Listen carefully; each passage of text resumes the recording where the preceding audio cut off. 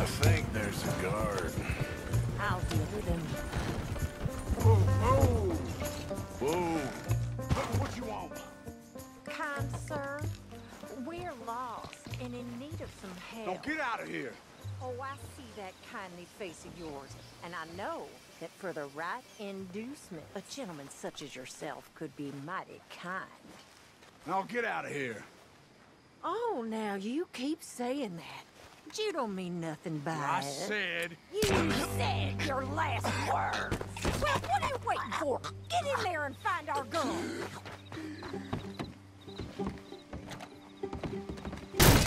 shit!